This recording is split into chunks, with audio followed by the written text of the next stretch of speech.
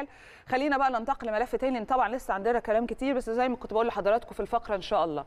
بكرة بقى خلينا نروح لينا ونتكلم عن النهائي المرتقب الأهلي إن شاء الله والوداد المغربي في نهائي دوري أبطال إفريقيا. بنتكلم الساعة 9 مساء إن شاء الله بتوقيت القاهرة على يعني ملعب محمد الخامس. الجماهير بقى وده اللي يهمني في الخبر ده كله الجماهير بدأت بالفعل إن هي تسافر عشان تساند الأهلي وحضروا كمان جزء كبير جدا من مران الفريق. ده كان بالامس طبعا.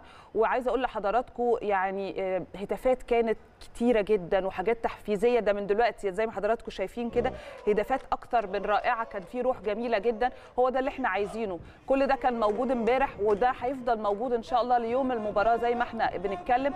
والثقة اللي بيدوها يعني الثقة اللي بيدوها برده للفريق ما كانتش سهلة يا كريم. هو ده اللي إحنا بنتمناه. في الأول في الآخر أنت نفسك يعني يبقى عندك برده ما تحسش بغربة من الآخر. يعني طبعًا ما تحسش طبعًا. بغربة. ولا يفرق معاك بقى أنت بتلعب على أرض الخصم بتلعب فين التحكيم إزاي الأرض إزاي الجو إزاي. طول ما أنت حاسس كده إن في دعم ودعم على الأرض أعتقد ده غير طبعا الملايين اللي بيتفرجوا عليك والملايين اللي بتساند في العالم كله. فبتفرق كتير جدا يا كريم. طبعا مليون في المية